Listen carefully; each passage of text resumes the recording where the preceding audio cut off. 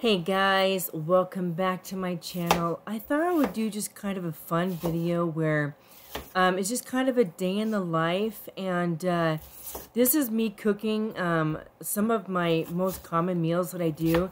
Um, after watching this video and doing this recording for you guys, I realized my camera was kind of far away on this particular part of the video. I do apologize. I thought it was um, zoomed in a little bit closer. I'm actually cutting up some red onion here and a green pepper. Um, I was actually in the process of prepping dinner for my husband that night. And the reason why I just say my husband is because there's two days a week now. Um, it's something that I'm doing recently. And if you're interested in more information about it, um, I might do a posting on it. But I, I fast twice a week now. I do a 36 hour fast twice a week right now. And uh, this particular day was a fasting day for me. So the meal that I'm prepping is specifically for my husband. And what I like to do when I'm making dinners, whether it's just for him or both of us, is I make enough of a dinner so that he has lunch the next day when he comes home. Um, if we have um, enough ingredients for the dinner, I make extras so that he has lunch the next day. And this particular meal was that case. Um, so I'm cutting up some green pepper and some onion, and I was going to cook it and combine it with some chicken, which you will see here momentarily. Um, I do prefer um, fresh ingredients over frozen ingredients.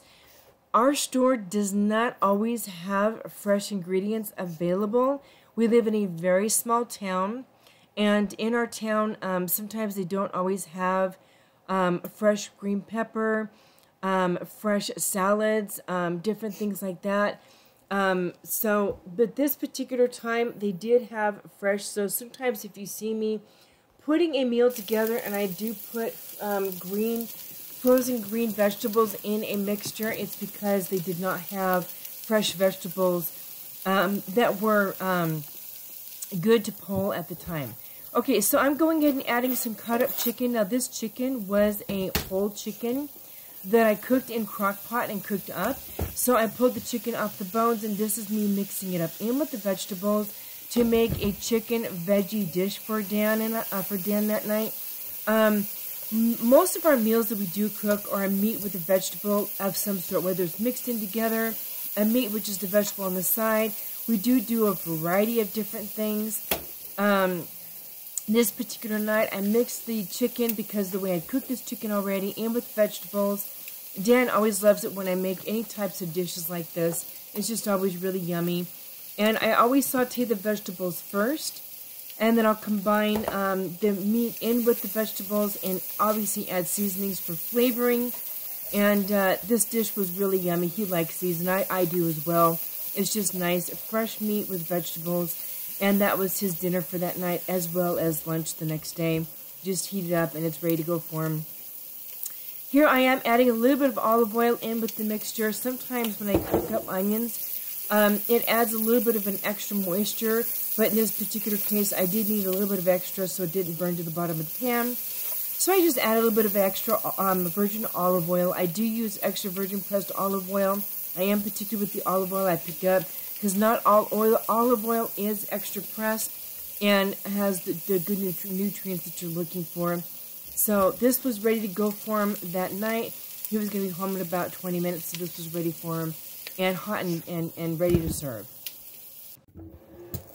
Okay, guys, so I broke my fast the next morning, and this is me making one of my favorite, um, kind of a, a late morning breakfast is what I do.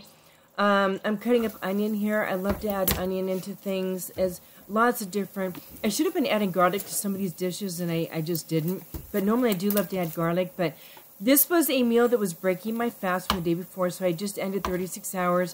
It was probably more like um, 42 hours by the time I ate, because it's probably around 11 or so that I'm making this. Um, and I love mushrooms added into my egg dishes. I love doing egg dishes with um, like um, mushrooms, um, green pepper, obviously um, garlic, which I didn't add in this time. Um, any sort of nice, um, sometimes I add basil, sometimes I add in um, um, various different things. So anyway, um, I have my pan over there. I don't remember if I showed you the pan or not. I probably do. I stopped adding cheese into my egg dishes. My husband and I stopped adding cheese into a lot of things because we find that when we eat cheese from the grocery store, we do tend to feel congested in our trachea and in our throat. And um, we just don't like that feeling. And the cheese from the store is not healthy cheese. I do not have access to organic cheese, nor do I have the ability to make my own cheese. So we are currently at this time cutting it out. We are not eating it nearly as much as we used to. Um, I do have nutritional yeast, but sometimes I just don't add it. Nutritional yeast can be expensive to buy, so sometimes I just simply don't add anything, uh, which is totally fine anyway. So here I am adding the eggs into a bowl to blend it up so that I can just pour it over these stir-fried um, veggies because I do saute my veggies before I add the eggs. You see me just kind of blending it and mixing it together. And, um, and then I'll just pour it over the veggies once the veggies are sauteed up a little bit and um, nicely blended. Um, I really do enjoy this dish, and um, when I'm cooking, I like to clean as I go. So sometimes while something's cooking, I'll be putting things in the dishwasher or mixing things up here. Uh, right now, I'm just kind of breaking up the onion to make sure it sautés thoroughly. Um, I do saute my mushrooms in with the onions. I love my mushrooms sauteed. If I was doing green pepper in here, I would be adding it at this time, sauteing the green pepper as well. Or as well as the garlic, I would be sauteing the garlic before I added the eggs in as well. Again, this is my lunch for breaking my fast the next day. I do, um, at the end of all this, add in some um, avocado. I do not have access to yummy avocado. Um, they do sell avocado at our store, but again, but again, because we live in a small town, we have tried buying avocado from our store, and it usually goes really bad within a day or two. So I quit spending money on the avocado. So what I do is I buy just regular chunky avocado in a bowl, um, and then I just top it off that way instead of buying just a regular avocado. See here, I'm adding the, um, the eggs in over the top of the vegetables, and then I will just cook it all up together with seasoning. Um, I did add some tomato on the side with this, I think. I love cutting up small little tomato. I put avocado on the top, and I also added some mixed nuts in with this too, so for some extra protein since I was breaking it fast. I wanted a good solid protein-based meal as well as veggies. Um, and uh, this is just one of those meals, again, that I really enjoy cooking on a regular basis. Sometimes then I will have a dish like this even just for dinner instead of cooking up like a big, you know, meat dinner. I'll just cook up some um, eggs with some vegetables and we'll have a little something on the side with it. Um, so yeah, right now I'm just mixing all this up and I'll just cook the egg through thoroughly and then serve it on the side with the cut up tomato, avocado on top. And um, sometimes if I have asparagus, I'll even add a little bit of asparagus on the side with this, which is super yummy.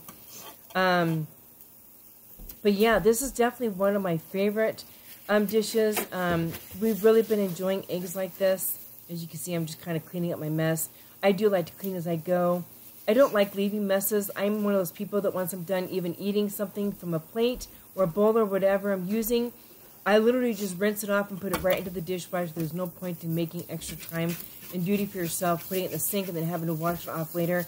I rinse it off right away and I just put it right in my dishwasher and then run my dishwasher from those dishes. So again, this is one of those really nice, yummy egg dishes that I enjoy making for both of us.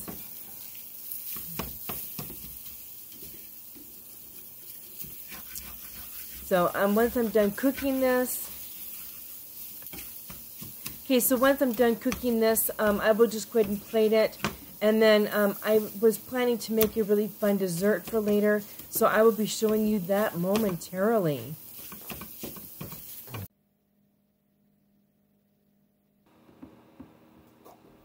Okay, you guys, this is a dessert that I decided to try. I saw it um, on Instagram, and I thought, gosh, that looks really good. And I kind of wanted to make a fun dessert for Dan and I tonight. Um, I should have done this. Um, I did this with a, a chocolate, but it wasn't um, the normal dark chocolate that I use. However, it is a dark chocolate. I just didn't have access to the dark chocolate that I typically use. But I got some strawberries from the store. Fortunately, the strawberries in our small store. Sometimes the strawberries are not good because they sit there and they do go bad. I did find one bad piece, so I just kind of threw it out, but the rest of these were actually pretty good. And I'm basically just melting some dark chocolate with a little bit of coconut oil in a pan over hot water. And um, I'm just going to basically, I was to glaze the chocolate over the strawberries, but the way the strawberry, the way the chocolate was um, was going, um, it, it, just wasn't quite glazing over the way I'd hoped, so I decided to just kind of douse it. And it turned out good anyway because we both really liked it doused anyway. I was kind of going for the pretty effect, but um, Dan liked the fact that I covered them so much in the chocolate. So right now I'm just filling this tray with some cut up strawberry. I'm just cutting off the top of the strawberries and uh, prepping them for the chocolate um, to be drizzled over the strawberries. I was glad I did the full tray of these because we did end up eating all of them. I was only going to do like a few of them, but I was glad that I did do all of them because they were really yummy. We ended up eating these um, Sunday afternoon after we had dinner, and it was just a nice, fun treat. I don't do this very often, um, but it doesn't take that long to do these, so I thought I would just go ahead and blend them up since I had the dark chocolate. Yeah, I'm just throwing the toppers away in the garbage. And I'm um, going to show you here, this is the chocolate melting in the bowl now over the hot water. I do have the coconut mixed in there. I'm just waiting for this chocolate to really melt down. And um, then we will cover that chocolate. There's the coconut. You can see the coconut oil right there. And there is the final product, guys, of the dark chocolate over strawberries. These were really yummy.